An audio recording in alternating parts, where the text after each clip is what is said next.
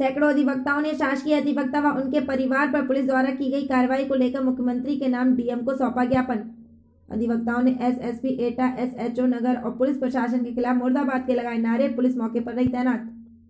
शासकीय अधिवक्ता और उनके परिवार को पुलिस द्वारा घसीटते हुए ले जाने का लगाया आरोप। स्थानीय पुलिस प्रशासन पर अधिवक्ता समाज को अपमानित करने का भी लगाया आरोप। शासकीय अधिवक्ता के बेटे को उचित उपचार और उनकी तरफ़ से दूसरे पक्ष पर एफआईआर दर्ज कराने की भी अधिवक्ताओं ने डीएम से रखी अपनी मांग। थाना कोतवाली नगर क्षेत्र के कलेक्ट्रेट परिसर का मामला। दिया है जो वकील साहब के मामले में। अ, क्या आपकी मांगे हैं और किस तरह की कार्रवाई की आपने मांग की है?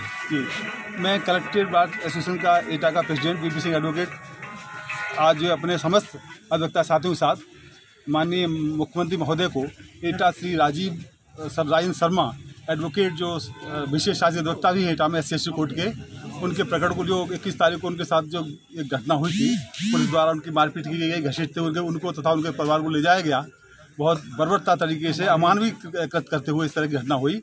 उसके संबंध में आज माननीय जिलाधिकारी महोदय को मैं सभी अपने सम्मानित साथियों के साथ ज्ञापन देने आया था। ज्ञापन में हमने जो है, लिखा है सारी इस चीज़ को कि इनके साथ ये अमानवीय घटना हुई है। इससे पूरी उत्तर प्रदेश सरकार पर प्रशिक्षण लगा हुआ है। और इस पर हमने न्याय की मांग की है और कानून व्यवस्था तभी रह पाएगी जब अधिवक्ताओं के साथ ये कार्य होगा।